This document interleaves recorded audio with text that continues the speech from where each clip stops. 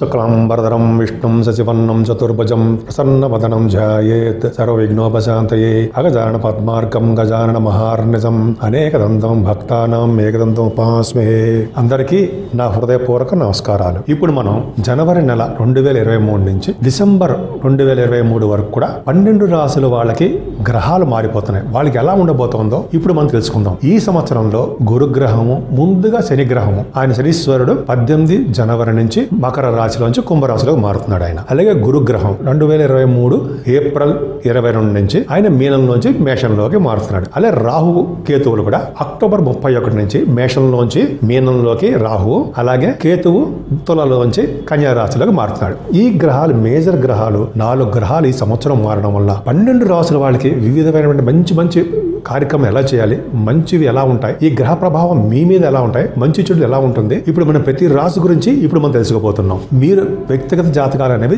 చాలా ఉంటాయండి. ఇప్పుడు మనం అంతా గోచారం చెప్పుకుంటున్నాం కదా. గోచారం అనేది చాలా మందికి కొన్ని లక్షల మంది ఉంటారు. సో ఏ ఒక్కటి కూడా ఏ ఒక్కరు ఏ ఒక్కటి పాయింట్ చెప్పినా మీకు అనువయించుకోకూడదు. ఎందుకంటే మీకంటూ ఒక డేట్ ఆఫ్ బర్త్ పుట్టిన టైం ఉంటుంది కదా సంవత్సరం.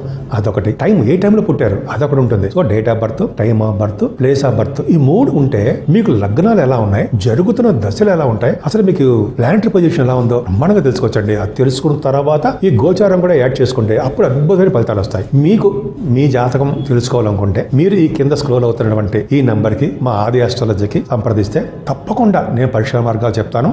ఒకవేళ నా ఫోన్ ఎంగేజ్లో వస్తే దయచేసి ఏమనుకోవద్దు. మీరు వాట్సాప్లో మీ మెసేజ్ డీటెయిల్స్ పెడితే తప్పకుండా చెప్తాను. చాలా షార్ట్ స్పాన్లోనే లేట్ చేయకుండా డిలే చేయకుండా తప్పకుండా మీకు చెప్తాను. ఈ సంవత్సరం మకర రాశి వాళ్ళకి మిశ్రమ ఫలితాలు వస్తాయి. అయినప్పటికీ ఏమి ఇబ్బంది పడాల్సిన అవసరం లేనే లేదు. పర్ఫెక్ట్గా మీకు గురు భగవాన్ కాపాడుతూనే ఉంటాడు. ఫోర్త్ భావన గురుడు. సరే ఏదేమైనా మీకు ద్వితీయ భావనలో శని ఉండడం వలన మీరు కష్టపడి పనిచేసే తప్ప విజయం సాధించలేరు.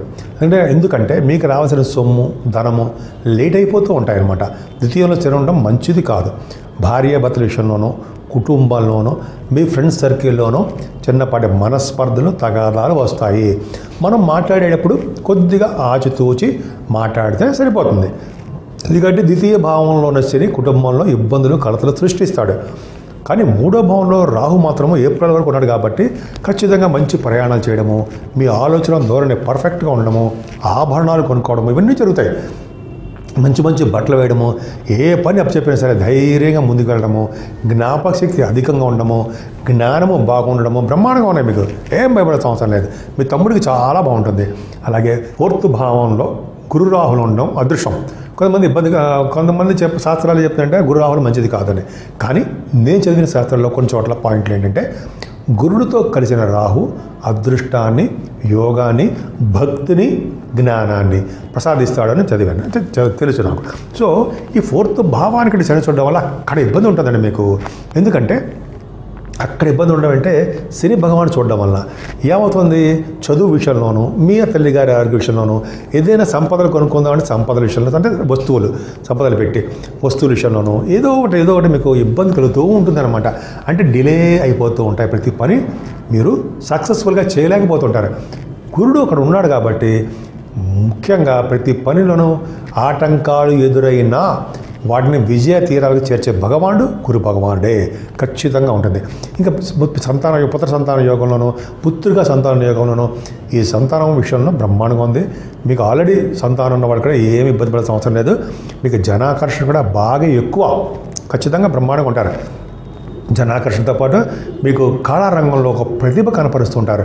సంగీతం అవ్వచ్చు సాహిత్యం అవ్వచ్చు నృత్యం అవ్వచ్చు మిమిక్రీ అవ్వచ్చు డబ్బింగ్ అవ్వచ్చు ఏదైనా మకర రాశి వాళ్ళకి ఈ సంవత్సరం బాగుంది అని చెప్తాను అయితే సప్తమ స్థానం చూసుకుంటే బ్రహ్మాండం. అంటే కొంతమందికి అంటే కర్కాటక రాశి కాబట్టి భార్యాభర్తల విషయంలో అప్పుడప్పుడు మనస్పర్ధలు కలుగుతాయేమో అనుకుంటాం కానీ చిన్న చిన్న ఇబ్బందులు ఉన్నప్పటికీ కూడా వాళ్ళకి బ్రహ్మాండంగా ఉంటారు.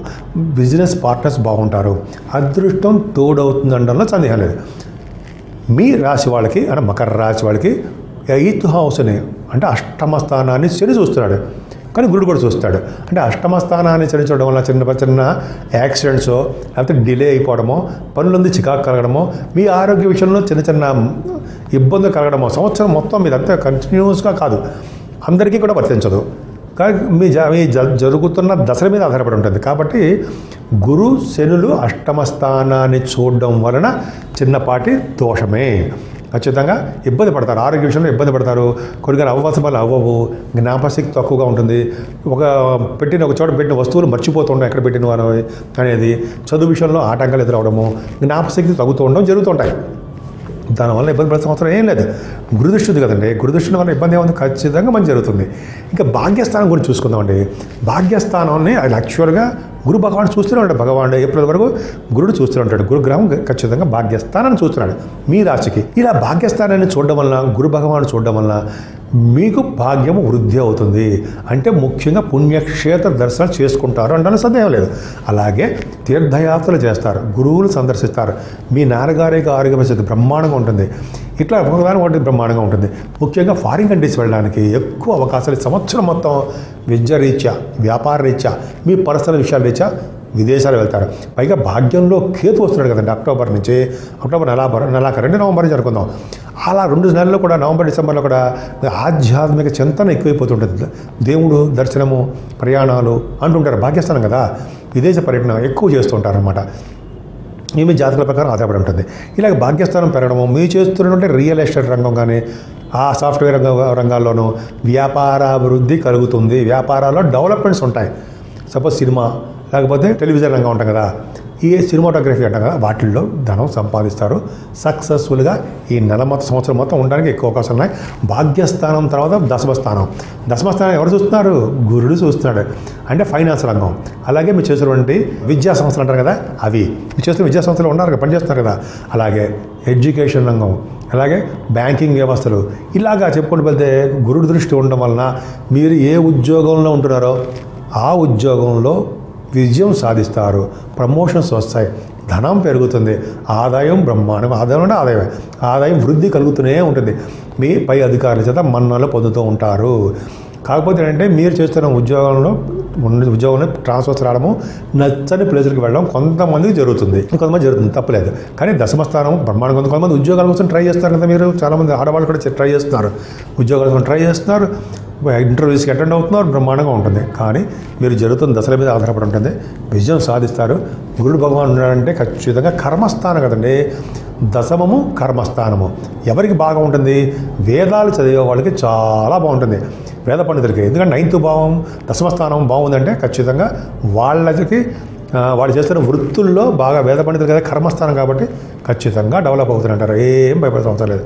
అంత అద్భుతమైనటువంటి ఫలితాలు వాళ్ళకు కూడా వస్తాయి. బ్రాహ్మణులు పూజింపడతారు సో ఈ విధంగా దశమస్థానం బ్రహ్మాండంగా ఉండడము లాభస్థానాన్ని శరీర దృష్టి ఉండడం వల్ల చిన్న చిన్న ఇబ్బందులు ఉంటాయి.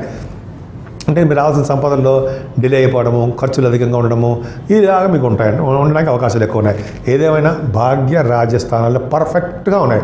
మకర రాశి వాళ్ళు కష్టపడితే తప్ప ఏ పనులందు విజయం సాధించలేరు. సో మీ రాశి వాళ్ళు ముఖ్యంగా పూజించవలసిన దేవుడు శుక్రుడు అమ్మవారు. అమ్మవారుని పూజించడం వలన వెంకటేశ్వర స్వామిని ఎందుకు చెప్తున్నానంటే శని ప్రభావం శని యొక్క ప్రభావం తగ్గడం కోసం పూజించడం వలన. అలాగే అమ్మవారు రాహుకాలం కదా రాహుకాల పూజలు చేయడం వలన మీకు సమస్త దోషాలు పరిహారం అవుతాయి. అంతేకాకుండా శివాభిషేకాలు ఖచ్చితంగా చేయించుకోవాల్సిందే. అప్పుడు అడపాదడప శివాభిషేకాలు చేయించుకుంటూ ఉండడము శివుడికి దగ్గర అవ్వడం వలన గ్రహాల వల్ల- వలన వచ్చే దోషాలు చాలా పడి పరిహారం అవుతాయి. సో ఈ సంవత్సరం మొత్తం కూడా మీ మకర రాశి వాడికి అద్భుతంగా ఉండాలని ప్రతి రంగంలో కూడా విజయం సాధించాలని సాధిస్తారని కూడా నేను మనస్ఫూర్తిగా కోరుకుంటున్నాను ఇలాంటి మరిన్ని సరికొత్త వీడియోల కోసం ఛానల్ని సబ్స్క్రైబ్ చేయండి. అలాగే ఇక్కడ ఉండే ఈ గంట సింబల్ని క్లిక్ చేయండి. మేము అప్డేట్ చేసే ప్రతి వీడియో నోటిఫికేషన్స్ మీకు వచ్చేస్తాయి.